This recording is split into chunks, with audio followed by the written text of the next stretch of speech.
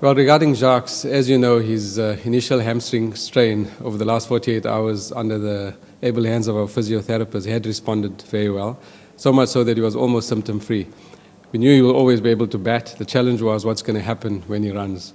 So uh, it's, it's, it's safe to say that he's probably aggravated his injury by running and batting.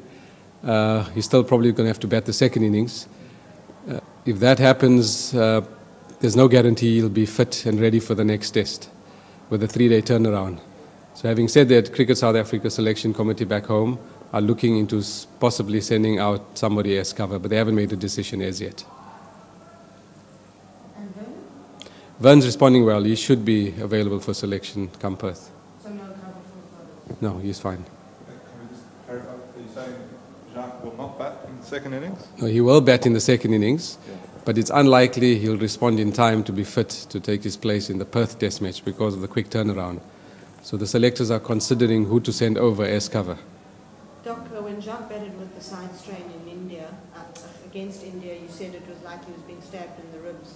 What Yeah. type of pain is he experiencing? The side strain was slightly different because at that time we infiltrated the area with anesthetic just to numb it while he batted. Uh, and it sort of worked because you got a double hundred. The difference with the, the thighs, the hamstring strain or the, the, the glute area is that it's very difficult to strap.